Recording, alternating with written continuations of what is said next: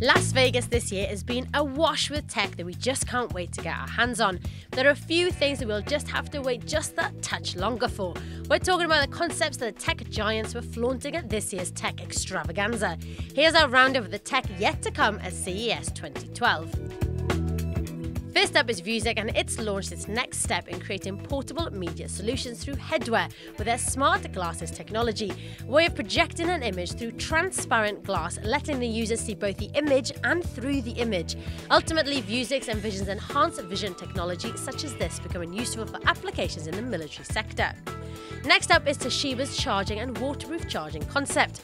Forget your power mat. Tosh has come up with a tech that will allow you to juice up your gadgets without touching them using the magic of magnetic resonance. The bigger the antenna, the bigger the space can be between them. Forget interactive fridges, Samsung showcases smart window concept at CES this year. As well as gazing at the world go by through this pane of glass, you can also check your Twitter and browse the web. You can also close the blinds and even switch on the light as it gets dark outside.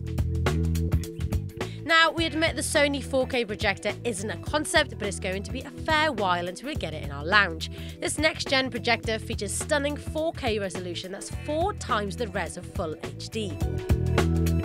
Finally, we have another concept from Razer, the Project Fiona. Not content with the Switchblade, the Fiona is a tablet hoping to take on the handheld out there with a 10.1 inch screen and a pair of nunchuck controllers either side.